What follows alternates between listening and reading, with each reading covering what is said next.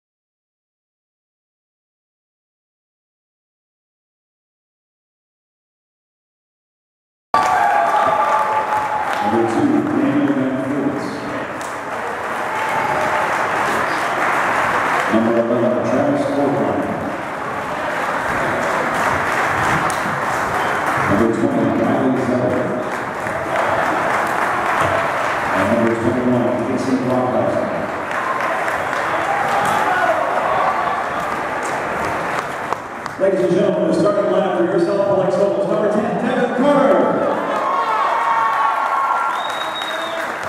Number 15, Tommy Honaker.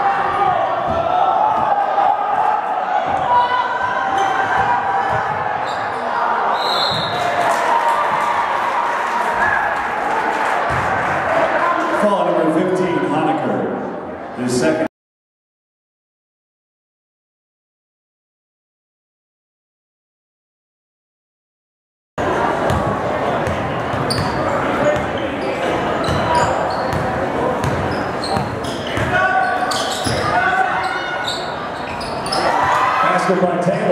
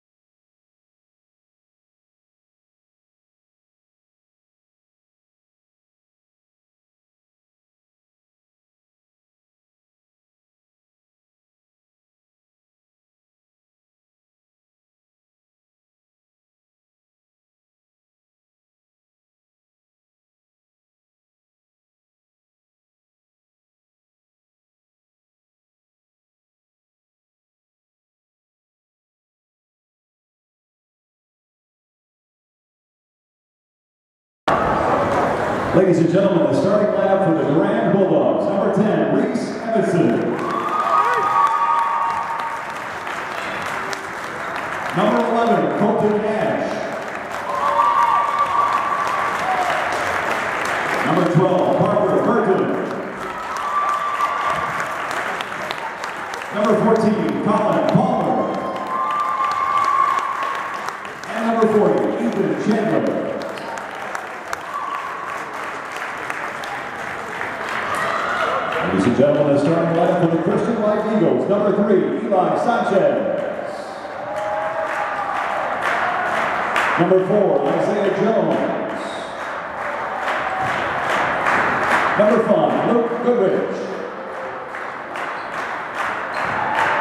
Number 13, Cameron Gasaro. And number 15, Nico Sanchez.